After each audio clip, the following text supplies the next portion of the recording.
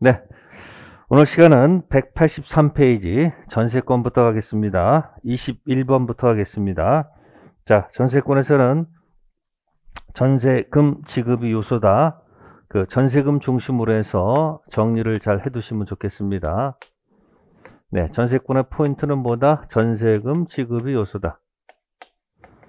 전세금 지급이 요소니까 즉 유상으로만 가야 되는 거지 예, 무상은 안 된다 그런 얘기죠. 그러면 전세금을 지급했다 그러면 이제 몇 가지 판례가 있을 거예요. 첫 번째가 뭐냐면 네 현실적으로 지급할 필요 없고요. 기존 채권으로 네 전세금 지급 대신할 수 있다. 꼭 현실적으로 전세금을 줄 필요가 없고요. 기존 채권으로 전세금 지급 대신 가름할 수도 있다는 판례가 있고 다음 소유자가 바뀌었어요. 전 소유자 그 다음에 현 소유자 주인이 바뀌었다는 얘기죠. 그러면 전세권자는 전세금을 누구한테 요구해야 될까요? 네, 전 소유자가 아니고 누구다? 현 소유자한테 요구해야 된다는 거 기억하셔야 돼요. 가끔 문제에 병전적으로 양쪽 다 전세금 지급할 의무가 있다 그럼 틀려요. 현 소유자가 가야 됩니다. 그 다음에 네, 기간 존속 중 그죠? 기간이 만료가 됐다. 네, 존속 중에는 전세금 반환 채권하고 그 다음에 전세권 네, 요거는 분리할 수가 없습니다. 분리 양도 할 수는 없다. 자, 운명을 갖춰야 된다는 거고요. 이제 기간이 끝나고 나면 이 전세권은 전세권은 이 전세권은 네, 자동 소멸하는 거예요. 자동 소멸, 용익적 전세권 자동 소멸. 그러면 남아 있는 게 채권밖에 없겠죠. 이제 존속 중에는 분리가 안 되지만 기간 만료가 되면 네, 전세권 없는 이 채권만 뭐 할 수 있다? 네, 양도 가능하다. 따라서 지금은 당장 아니지만 장래 기간 만료 시 장래의 전세금 반환 채권을 네, 양도 조건부로 양도하는 것은 가능하겠죠. 자, 이런 판례가 있고요. 다음에 또 하나 무엇일까요? 어, 전세금 가지고 네, 전세금 기간이 끝났다. 그죠? 전세금을 주지 않네요. 전세금 주지 않습니다. 그럼 어떻게 될까요? 네. 에, 어떻게 할까요? 전세금 지급하지 않으면, 네. 경매 들어가야 되겠죠. 그래서 전세금 주지 않았을 때는, 네. 할 수 없습니다. 경매해서, 그 다음 뭐 받을 수밖에 없다? 우선 변제권 받을 수밖에 없다는 거. 네. 다른 게 아니고요. 기간이 만료가 됐다. 근데 주인이 뭘 안 주게 되면, 전세금 주지 않게 되면, 경매에서 뭐 받을 수 있다? 우선 면제 받을 수 있죠. 자, 이런 것 때문에 전세권은 네, 용익 물건이면서 플러스 뭐다? 담보 물권 성질을 갖는다. 그러니까 이중 스파이에요. 이중 스파이. 기본적으로는 용익 물권이지만 자, 존속중은 용익 물권 성질이 강하겠죠. 그러다 기간 끝나면 이 담보 물권 성질이 드러난다. 뭐 이렇게 할 수도 있고요. 자, 그 다음에 이제 포인트가 이제 건물 일부입니다. 네, 건물 일부에 전세권을 설정했어요. 네, 그때 특징. 전부 경매할 수는 없다는 거죠. 전부 경매할 수는 없고요. 함부로 경매할 수는 없습니다. 그러나 경락대금 전부에 대한 뭐는 있다? 우선 변제는 있다. 네, 하나, 둘, 셋, 다섯 개 정도 네, 전세금 관련된 이 다섯 개 정도 판례는 머릿속에 꼭 좀 기억하시고 준비해 주시면 좋겠습니다. 다섯 개. 자, 그걸 바탕으로 21번 가보겠습니다. 페이지 183페이지. 네, 21번 갈게요. 갑은 자신의 X 건물에 관해서 을과 전세금 1억 원, 전세권 설정 계약을 체결하고 을 명의로 설정 등기 마쳐 주었다. 네, 그러면 갑의 건물이 있고 을이 있습니다. 자, 1번 봅시다. 전세권 존속 기간을 15년 정하더라도 10년으로 단축한다. 자, 이거는 전세권은 최장기 제한이 있다는 거. 그래서 기간보다 길게 정하면 단축한다는 겁니다. 아무리 길어봐야 단 기, 간 제한이 있다는 얘기예요. 그래서 10년. 그래서 10년을 뭐하지 못한다? 넘지. 초과하지 못한다. 네, 그 때문에 15년 정하더라도 10년으로 단축된다. 네, 맞는 질문이 되겠습니다. 두 번째, 자, 1억 원을 현실적으로 수수할 필요 없이 기존 채권으로 전세금 지급에 가름할 수 있다. 방금 전에 했던 판례고요. 자, 세 번째입니다. 갑이 X건물 소유를 위해서 네, 지상권을 취득하였다면 의뢰 전세권 효력은 그 지상권에 미친다. 네, 3번 같은 경우는 이런 거예요. 갑 토지에 자, 지금 의뢰했 뭐 지상권이라고 씁니다. 지상권. 갑이 X금 지상 취득했다 되어 있습니다. 그렇죠? 아, 그게 아니죠. 자, 갑 여기 값인데 값이 뭐라고 했습니까? 여기 지금 값 네, 지상권을 취득했다고 됐습니다. 지상권. 그래가지고 갑의 건물이 을한테 뭐가 설정됐다? 전세권 설정됐다. 그런 얘기죠. 네, 토지 소유자는 따로 있겠죠. 그러면 이 건물 전세권 효력은 네, 어디에도 미치고요. 건물 전세권 효력은 당연히 건물에도 미치고 이 건물을 소유를 목적으로 한 어디에도 지상권에도 효력이 미칩니다. 네, 그래야지 건물 전세권자가 예, 토지를 사용할 수 있지 않느냐 그런 얘기예요. 건물 전세권 효력은 갑이 취득한 이 지상권의 효력이 미칩니다. 네, 맞는 질문입니다. 네 번째 질문입니다. 네, 법정갱신 되었습니다. 법정갱신, 네, 합의갱신이 아니죠. 법정갱신은 자동갱신이죠.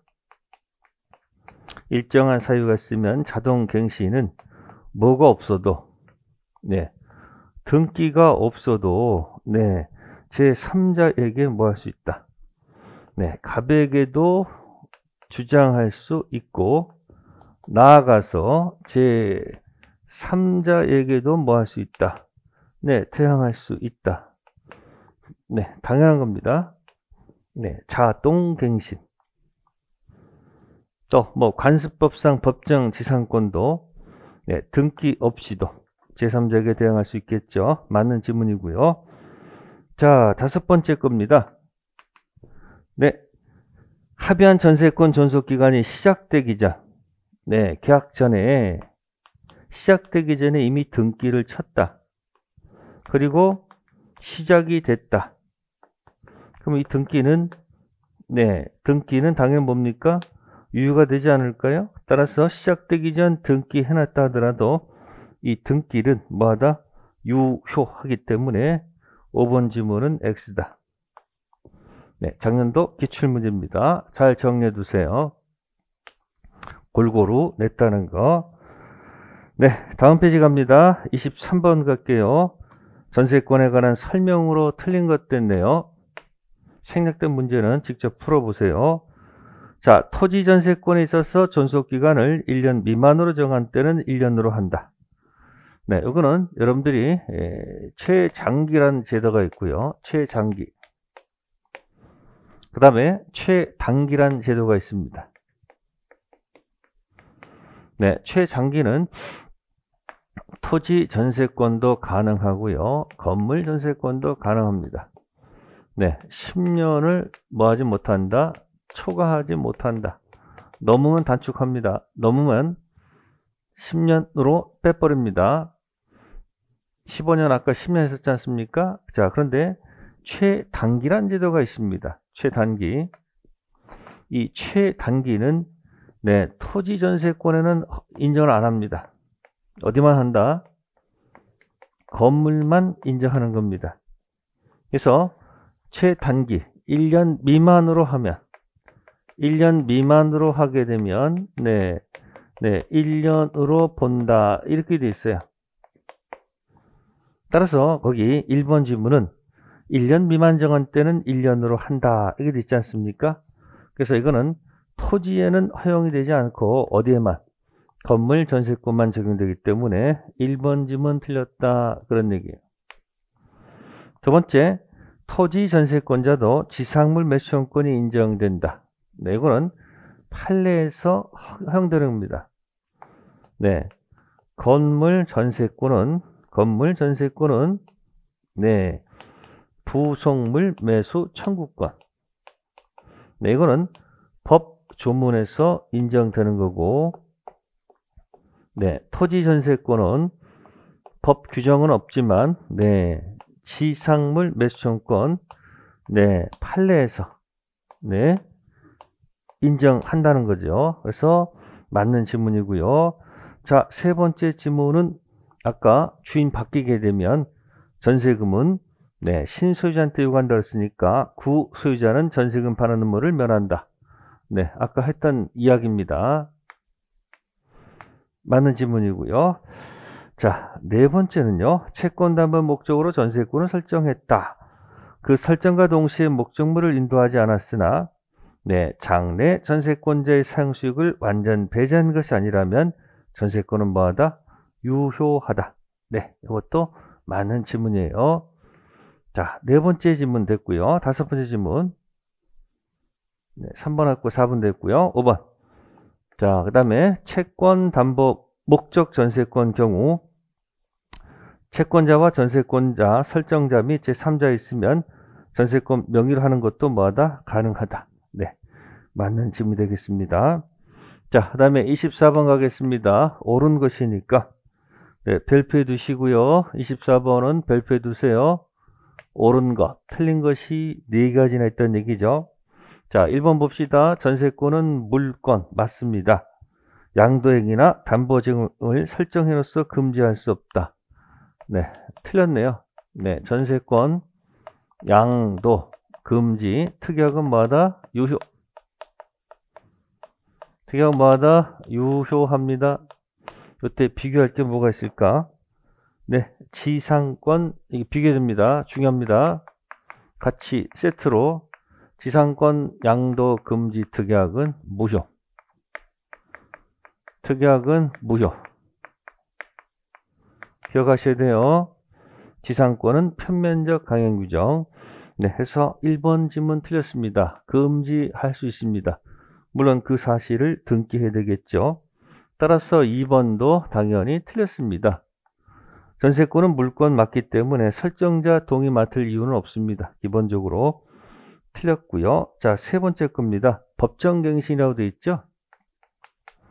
합의갱신이 아니고요. 법정갱신은 자동갱신이니까 요거는 뭐가 없어도 네, 등기 불료, 등기 없이도 당사자 또는 제3자에게도 대항할 수 있지 않을까요? 조심하시고요. 법정갱신 잘 기억하시고요. 5번째, 네 번째. 약정 없는 경우 전세권 경우에 각 당사자는 언제든지 상대방의 통, 소멸을 통과할 수 있다. 네, 4번이 맞는 질문이네요. 자, 거기 큐, 묶을 말이 소멸을 통고. 거기 키워드예요. 소멸을 통고. 이건 집중하셔야 돼요. 이건 어디서 나오냐? 요 법정 갱신 됐을 때 무슨 갱신? 법정 갱신 됐을 때 첫 번째 전 전세권 계약하고 동일한 조건으로 갑니다. 다만 기간은 약정이 없는 것으로 가요. 기간 뭐가 없다? 약정이 없다. 이렇게 돼 있어요. 이때 이쪽 저쪽 소멸 통고할 수 있다. 그래서 갑도 통과할 수 있고 을도 통과할 수 있습니다. 갑이 통과하면 6월이 지나야지 끝나고 을도 6월이 지나야지 끝납니다. 그래서 거기 3번하고 4번은 한 세트예요. 한 세트입니다. 자동갱신됐다, 전계약 갔다, 다만 전계약 중 기간만큼은 약정이 없어서 이쪽 저쪽 통고 통고할 수 있다. 그래서 법정갱신은 통고랑 한 세트 잘 기억해 두세요. 법정갱신 시험에 나오겠죠. 자, 4번 맞는 질문이고요. 5번입니다. 일부 전세권자 전세금 반환받지 못했다. 전부 경매. 아까 했었습니다. 네, 일부 전세. 무슨 전세?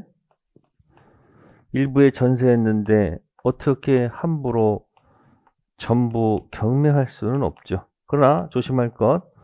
병락대금 전부에 들어가는 뭐는 있다. 우선 변제는 있다는 거. 아까 있었습니다. 그래서 정답은 4번. 24번은 정답이 4번. 옳은 것이니까 체킹해서 기억해 두시고요. 네, 다음에 이제 건너갈게요. 27번 갈게요. 네, 존속 기간에 관한 얘기예요. 자, 27번 1번입니다. 존속 기간을 당사자가 임의로 정할 수 있고 최장기 제한은 없다. 네, 다시 또 되풀이되네요. 최장기와 뭐가 있다. 최단기가 있다. 네, 최장기는 최장기는 토지도 되고 건물도 된다. 최단기는 토지 전세권은 없고 건물만 된다. 이건 법 조문 이야기죠. 무슨 이론적 사항은 아닙니다. 조문에 그렇게 규정되어 있다. 최장기는 자 10년 넘지 못한다. 1년 미만 정하면 1년으로 본다는 얘기죠. 네, 그렇다면 1번 지문은 틀렸죠. 네, 최장기 제한이 없다. 있으므로 1번 지문은 뭐다? X. 두 번째 지문, 토지 전세권에 있어서는 1년 미만 정한 때는 1년으로 한다. 네, 토지에는 없다고 최단계로 있으니까 2번도 X. 세 번째, 토지 전세권자 지상물 매수권이 인정되지 않는다. 네, 했습니다. 아까 건물은 뭐고요? 부속물. 자, 아까 있습니다. 건물은 뭐라고 쓰고요? 네, 부속물로 가는 거예요. 건물은. 건물은 부속물로 놀면 되는 거고요. 토지는 뭐다? 네, 지상물로 가면 돼요. 따라 3번 지문도 X. 네 번째 지문입니다. 존속기간 약정하지 않았다. 언제든지 소멸 통과할 수 있다. 통과받은 날로부터 전세권 소멸하는 것이 아니죠. 네, 방금 전에 여기 여기 자동 갱신됐을 때 소멸 통고는 6개월 6개월 했지 않습니까? 그래서 통고를 하게 되면 네, 즉시가 아니고요. 네. 6개월이 지나야지 끝나기 때문에 4번 지문도 X 자, 다섯 번째입니다. 토지의 전세권자가 경계 근방에서 건물을 뭐하기 위해서 축조하기 위해서 이웃 토지 사용을 청구하는 경우 전세권 설정자를 대하지 않고 직접 행사할 수 있다. 네, 이건 다른 건 아니고요. 자, 소, 유자가 있습니다. 네. 네, 소유권 있는 사람은 당연히 이 부동산 소유자랑 사이좋게 지내야 되겠죠. 무슨 관계가 있어요? 네, 상린 관계라고 하지요. 네. 소유자 상린 관계가 있듯이 그러면 소유자로부터 우리 전세권을 설정받게 되면 네. 소유자의 점유가 네, 점유하는 사람은 이웃 부동산이랑 사이좋게 상린 관계에 따라야 되듯이 이 점유가 전세권자한테 내려왔으니까 당연히 소유자의 무슨 관계도 상린 관계도 당연히 전세권자 따라야 되지 않을까요? 네, 그래서 당연한 거예요. 그래서 27번은 몇 번이다? 5번. 어렵게 표현한 겁니다. 전세권자 점유함으로 소유자 상린 관계 뭐한다? 따른다. 그런 얘기를 기억하시면 돼요. 네, 그래서 27번은 5번. 네, 다음에 한번 28번 한번 가볼까요? 28번. 네, 전세권 자, 기억 법정갱신은 네 건물 전세권에만 인정된다. 네, 맞습니다. 법정갱신은 토지는 없고 건물만 됩니다. 다음, 니은 최단기 제한은 건물 전세권에만 인정된다. 맞죠? 그래서 여러분들이 기억하세요. 토지 전세권에는 없고 건물 전세권에 인정되는 거 두 가지가 바로 뭐다? 최단기하고 그 다음 뭐다? 네, 법정 갱신 두 가지 기억해 두세요.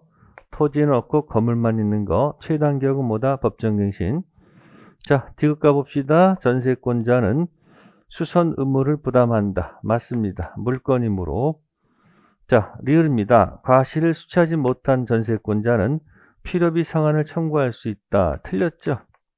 네. 디귿을 마치고 리을을 틀리면 안 됩니다. 네. 수선 의무는 누구한테 있으니까. 수선 의무는 주인한테 있는 게 아니고요. 빌려 쓰는 사람한테 있지 않습니까? 수선 음에 들어가는 비용이 필요비예요.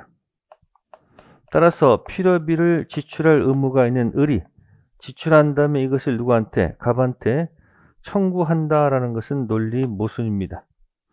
디귿 리을 한 세트입니다. 그래서 리을 X고요. 미음 토지전세권자 지상물 매수청권 인정된다. 방금 전에 했습니다. 맞는 질문이에요. 자, 그 다음에 비읍 전세권자의 처분권은 특약으로 배제할 수 있다. 네, 맞습니다. 자, 비읍할 때 조심할 것이 지상권 기억하세요. 네, 지상권 양도 금지, 특약은 무효. 그죠? 전세권 양도 금지는 유효입니다. 자, 시옷입니다. 네, 건물 일부에 설정된 자 전체 경매할 수 있어요? 네, 일부 전세는 뭐 할 수 없다. 일부 전세는 뭐 할 수 없다. 네, 전부 경매 안 돼요. 함부로 경매하는 거 아니에요. 그러나 전부 우선 변제 있다고 그랬고요. 목적물 인도는 전세권 성립 요소로 한다. 그렇지 않습니다. 네, 해서 맞는 지문, 틀린 지문은 리을, 시옷, 이응. 네, 2번이 정답이 되겠습니다. 네, 이것저것 모아서 낸 거니까 한 번쯤 기억했으면 되겠습니다. 자, 됐고요. 다음에 전세권 소멸 효과 갑니다. 31번. 갑과 을은 갑과 을은 을수의 건물에 대해서 전세금 1억 원 설정하기로 등기도 경내는데 틀린 것도 있습니다. 자, 을소유 건물입니다. 그리고 갑은 네, 전세권 설정받았다 그런 얘기가 되겠죠. 갑은 소유권, 을은 전세권. 자, 갑시다. 1번 전세권 존속 중이라도 장래에 전세권이 소멸하는 경우 전세금 반환 채권 발생하는 것을 조건으로 장래 조건부 채권을 유하게 양도할 수 있다. 네, 1번 맞는 질문이죠. 자, 중복된 겁니다. 존속 중은 네, 같이 살아야죠. 네, 그래서 존속 중뭐할 수 없다? 분리 할 수 없습니다. 그러나 기간이 뭐가 되면 만료가 되면 뭐가 없어진다고요? 전세권은 자동 소멸하기 때문에 네, 이 채권만 양도할 수 있겠죠. 존속 중은 채권과 전세권은 운명을 같이 해야 됩니다. 불양도할 수가 없어요. 가야 됩니다. 살아있고 이건 주, 죽으니까 그죠? 살아있는 동안은 같이 가지만 죽으면 없, 없으니까 혼자 양, 양도할 수 있으니까 비록 A 시점에서 그죠? 장래 발생하는 이런 채권을 조건부로 양도할 수 있다. 맞는 질문이에요. 자, 두 번째입니다. 기간이 끝났다. 자, 보세요. 주인은 주인은 뭘 해야 됩니까? 당연히 전세금 반환이 포인트가 되죠. 자, 그러면 빌려 쓴 사람 뭘 하느냐? 목적물 반환 하면서 등기를 했으니까 말소 서류를 줘야죠. 말소 서류. 이 두 가지가 무슨 관계다? 네, 동시 이행 관계다라는 거죠. 네, 맞는 질문이죠. 3번 갑니다. 갑이 을에게 전세금 반환받지 못한 경우 목적물 인도 없이도 경매를 신청할 수 있다. 네, 여기에서 잘못되어 있네요. 자, 이런 걸 이제 응용하셔야 됩니다. 이 두 가지가 동시 이행 관계다. 그럼 이쪽도 변제기고요. 이쪽도 변제기란 얘기죠. 서로 서로 동시행 관계 있으면 자 계약법에서 그 자체로 그 자체로 서로 서로 이행지체 책임 면제 받는 겁니다. 항변권의 가장 큰 포인트가 뭘까? 항변권 있으면 그 자체로 이행지체 책임 면제. 따라서 이쪽에서 이쪽에서 서로 서로 항변권이 있으니까 이쪽에서 경매를 집어넣으려면 이쪽을 이행지체에 빠뜨려야 돼. 그러니까 갑이 경매를 집어넣기 위해서는 지체밭 내걸 줘야 될 거 아니에요. 그러면 거기 보시면은 목적물 인도 없이 그죠? 그러면 전, 이 목적물도 반환해야 되고 말소 서류 이 두 가지를 갖다가 이렇게 제공해서 제공해서 네 이행 지체에 빠뜨려야지 비로소 뭐 할 수 있다? 경매할 수 있다. 그런 얘기야. 따라서 3번 지문은 네 잘못된 지문이다. 그런 얘기야. 그래서 이거는 동시 이행 항변권하고 이행 지체가 한 세트로 노는 요, 요거를 잘 기억하십니다. 자, 네 번째 질문은 만일 갑과 을이 전세금 반환 채권을 담보할 목적으로 갑을 병세 3자 간 합의에 있어 병명으로 등기했더라도 역시 뭐하다? 유효합니다. 4번 맞는 지문이고요. 자, 다섯 번째는 전세권이 성립한 후 소유권이 을에서 정으로 바뀌었죠. 네, 그럼 전세금도 정이 다 안고 갔을 거예요. 따라서 을은 네, 전 소유자는 전세권 설정자 지위를 상실해서 전세금 반환 의무를 부담한다. 네, 맞는 지문이 되겠습니다. 그래서 31번에 3번은 출제는 전세권이지만 알고 보면 뭐다? 동시 이행하고 이행지체 요거 가지고 낸 거예요. 잘 한번 정리해 주시고요. 자, 32번 가봅시다. 전세권 32번. 전세권과 관련된 설명 중 틀린 것. 자, 첫 번째는 유익비입니다. 유익비. 네, 전세권자는 필요비는 안 되죠. 구별하셔야 돼요. 전세권자는 필요비는 요구를 못하고 유익비 요구할 수 있습니다. 자, 유익비 요구할 때 가액 증가, 현존 맞습니다. 가액 증가, 현존이란 이 말은 어디서랑만 논다? 유익비. 그리고 선택은 당연히 누가 한다? 네, 소유자가 선택할 수밖에 없어요. 전세권자가 청구하고 전세권자가 선택한다면 안 됩니다. 맞는 질문이고요. 자, 두 번째 질문은 틀렸죠? 전세금 지급 현실적 수수될 필요는 없고요.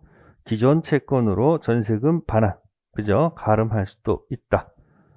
그래서 1번 전세금이 현실적으로 지급되지 않고 기존 채권 가름 가능하죠? 기존 채권으로 가름하더라도 대신하더라도 전세권 네 그대로 성립합니다. 그래서 2번 질문 틀렸고요. 자, 세 번째 질문.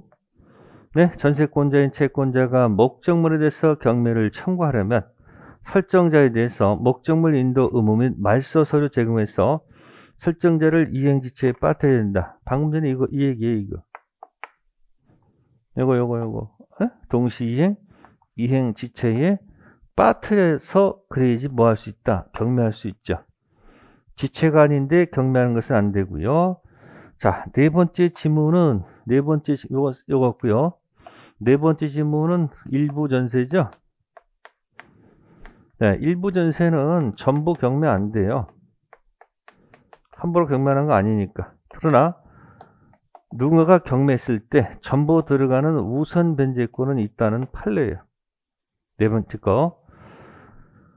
그래서 거기 읽어보셔야 돼요. 전부 우선 변제는 네? 있으나 전부 경매할 수는 없다는 거.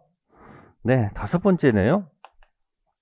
전세권만 설정되어 있는 부동산에 대해서 저당권이 설정된 경우. 네, 그럼 이런 거예요. 전세권 네, 등기가 돼 있고 그 뒤에 저당권 등기가 나왔다는 얘기예요. 네, 그래서 전세권자가 경매를 신청해서 그죠? 네, 새로운 주인이 경락인이 나타났다 하더라도 이게 앞에 있으니까 당연히 대항할 수 있겠죠. 그래서 선순위 전세권, 그죠? 저당권보다 앞에 들어간 선순위 전세권은 네, 경매 시 경락인에게 뭐 할 수 있다? 당연히 대항할 수 있죠. 네, 그래서 32번은 별표 좀 해두시고요. 팔레 테더니까 여러 번 여러 번 좀 읽어두시면 되겠습니다. 네, 여기까지가 예, 전세권 이야기가 되고요. 네, 다음 우리 이제 어디로 가야 될까요? 네, 담보 물건으로 가야 되겠죠. 네, 그래서 어, 그 파트마다 포인트가 있으니까 이렇게 전세권은 요 다섯 개 가지고 집중하시고 자, 유치권 가면은 유치권은 기본적으로 기본적으로 공식이 있습니다. 그래서 일단 공식이 뭐다? 타인 물건 관련돼서 점유를 해야 됩니다. 점유를 해야 되고요.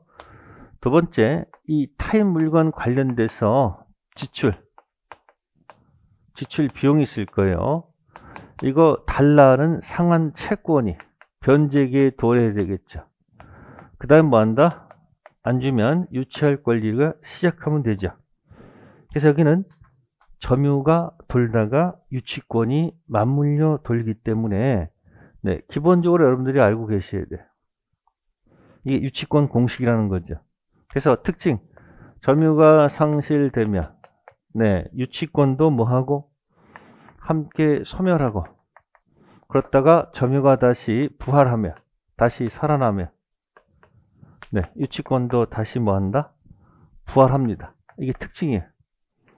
그래서 우리는 이걸 두고서 여기서 아 여기는 점유권 기초로 하는 뭐는 있어도 네 물청은 있다. 그러나 유치권 기초로 하는 물청은 없다는 겁니다. 기본적으로 유치권 물청은 없습니다. 그래서 어떤 이걸 줄이면 줄이면 점유하다가 채권 때문에 유치권 공식을 하나 먼저 기억하시고 이게 공식입니다. 공식 두 번째 파트는 유치권자한테 인정이 안 되는 것. 세 번째는 유치권자한테 인정되는 것. 이렇게 해서 한번 생각을 한 다음에 풀, 푸셔야 돼요. 그래서 인정 안 되는 것은 암기하는 거죠. 네, 우물에 뭐가 없다. 네, 물이 없다. 우물에 물이 없으면 얼마나 목이 마를까요?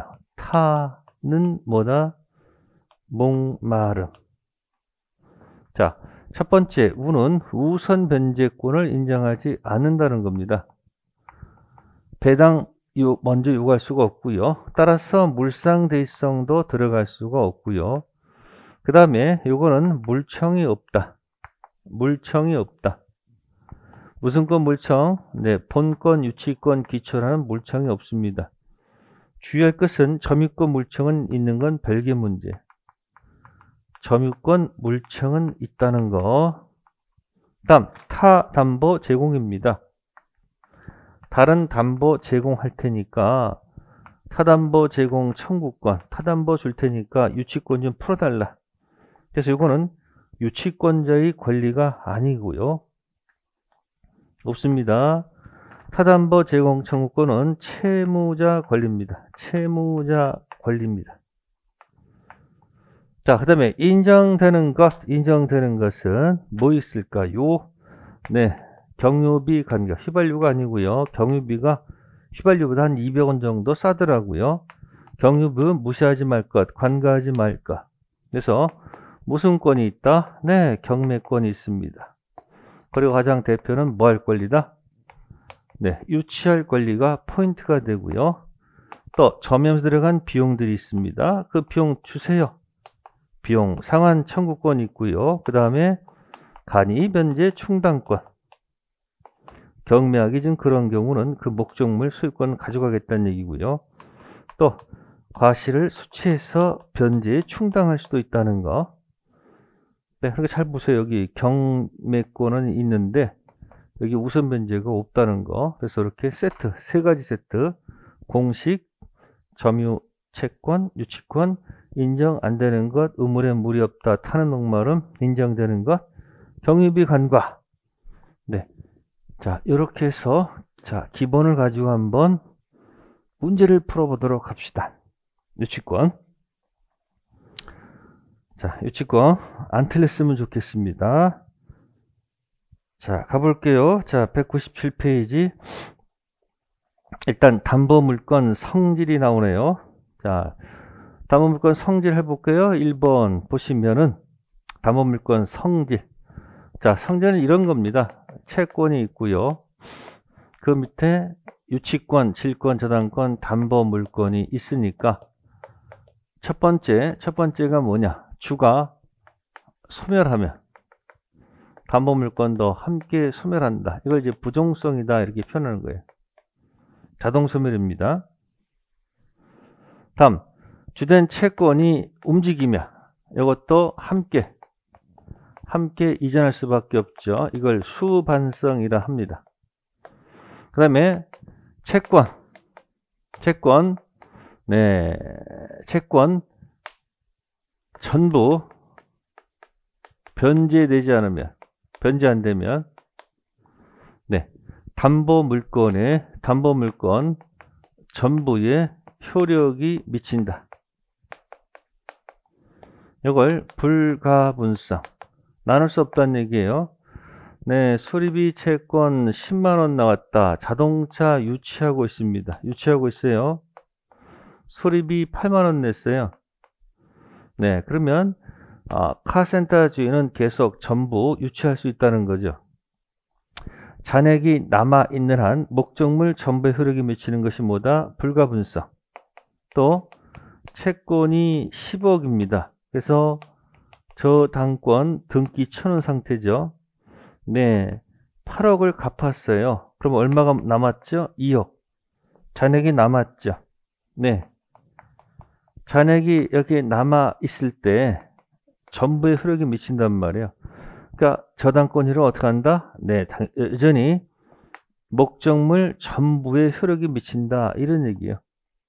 그러니까 다 갚을 때까지 계속 효력이 미치는 걸 뭐라 한다? 불가분성이라 하는 거예요. 자, 됐고요. 음, 그 다음에 세 가지가 있고요. 그 다음에 이제 물상대의성은 우선 변제가 있을 때, 뭐가 있을 때? 우선 변제가 있을 때만 들어가요. 그래서 우선 변제가 있는 것은 어디다? 우선 변제는 네, 유치권자는 우선 변제가 없어요. 그래서 물상대의성이 없습니다. 여기 아까 우물에 물이 없다 했습니다. 저당권자는 우선 변제가 있고 물상대의성이 있습니다. 변형된 가침을. 네, 그거 기초로 해가지고 1번 문제 푸는 겁니다. 자, 1번 유치권은 부정성이 엄격하게 요구된다. 네, 맞는 질문이야. 엄격. 유치권,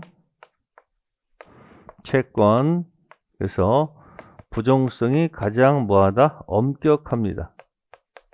맞는 질문이고요. 자, 두 번째 질문은 일부가 변제되면 자, 일부도 담보물권 구성력에서 벗어난다. 2번 틀렸죠. 네, 불가분성. 무슨 성? 잔액이 남아있는 한 목적물 전부 효력에 미치는 건 뭐다? 불가분성. 2번 틀렸고요. 세 번째는 물상대성은 우선 변제 효리는 물상대만 인정된다. 네, 이렇게 생각하시면 될 거예요. 요치권은 점유가 생명인데 우선 변제가 없다는 겁니다. 저당권은 점유하지 않는데 네, 우선 변제가 생명입니다. 우선 변제가 있으면 변형된 가치물의 효력이 안가 없으면 없는 겁니다. 이건 물상대성 인정됩니다. 함께 기억하시면 좋을 겁니다. 자, 그 다음에 네 번째 분 담보물건은 타 물건을 원칙으로 한다. 많은 얘기예요. 네, 자기 부동산에 자신이 소유자이면서 자신이 저당권자, 자신이 소유자이면서 자신이 유치권자 인정하지 않습니다. 네, 5번은 뭐 방금 했던 거 맞는 지문이고요. 네, 불가분성. 무슨 성? 불가분성 한번 기억해 두세요. 담보물건 불가분성. 전부의 효력에 미칩니다. 자, 문제 2번은 이제 기출문제네요. 네, 저당권 이야기입니다. 물상대입니다. 물상대위. 자, 대위할 물건이 제3자에 의해서 압류된 경우에는 물상대위성이 없다. 네. 1번은 제3자가 압류해 주면 네, thank you. 내가 할 걸 제3자가 압류해 주면 고맙죠. 그래서 1번 지문 X. 두 번째, 전세권을 저당권의 목적으로 한 경우 저당권자에게 물상대위권이 인정되지 않는다. 자, 2번은 도대체 뭘까요? 판례는 이런 겁니다. 갑의 소유권이 있고 을이 전세권이 있습니다. 어른 가반대 전세금 반환 채권이 있죠. 뭐 10억 있다 합시다. 이 전세권이 예, 저당권 목적이 된 겁니다. 그러면 병도 채권, 채권 7억이라 합시다. 자, 이렇게 해서 전세권의 저당권 설정됐다. 그런 얘기예요. 자, 그런데 기간이 만료가 됐습니다. 기간이 만료가 되면 어떻게 될까요? 네. 기간이 만료가 되면 이 전세권은 자동 소멸입니다. 말소 소멸 아니에요.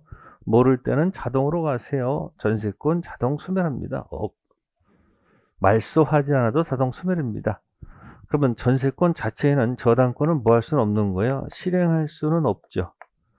없는 거 가지고는 실행할 수가 없죠. 그러나 병은 걱정하지 마세요.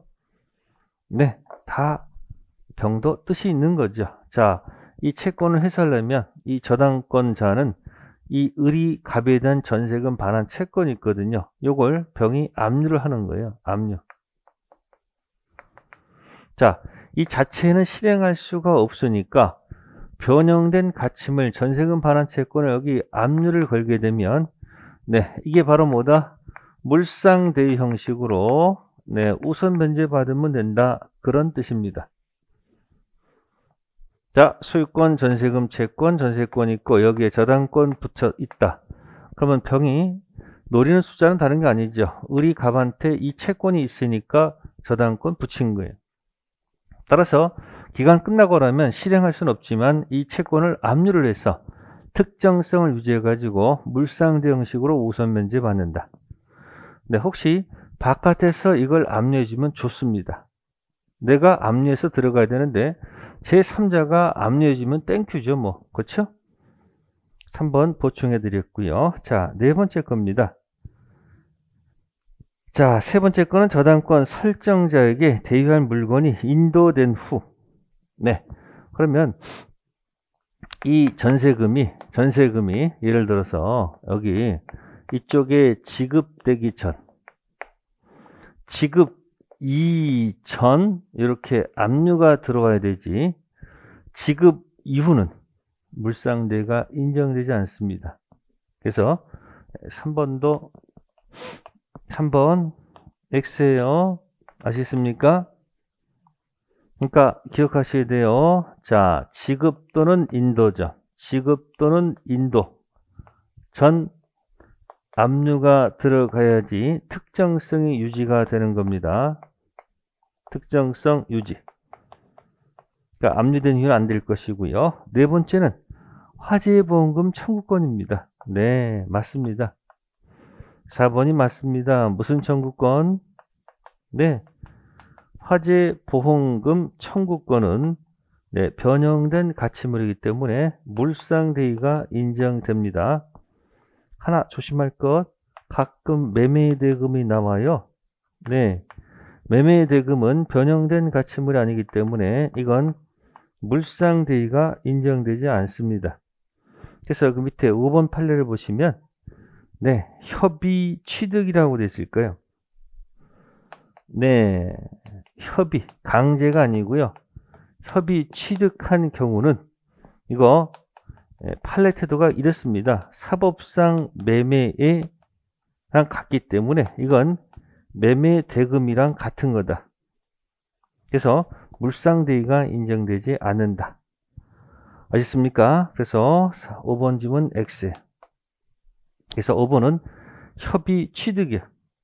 강제 취득, 공영 징수가 아니고 협의 취득은 매매와 같기 때문에 그 보상금은 매매 대금과 동일한 성질이기 때문에 네, 물상대위를 인정하지 않습니다. 그래서 2번은 정답은 4번. 네. 문제 맞힐 수 있는 거예요. 자, 이제 그런 얘기가 들어가 있는 겁니다. 자, 그 다음에 유치권 이야기는 잠시 따 하도록 하겠습니다.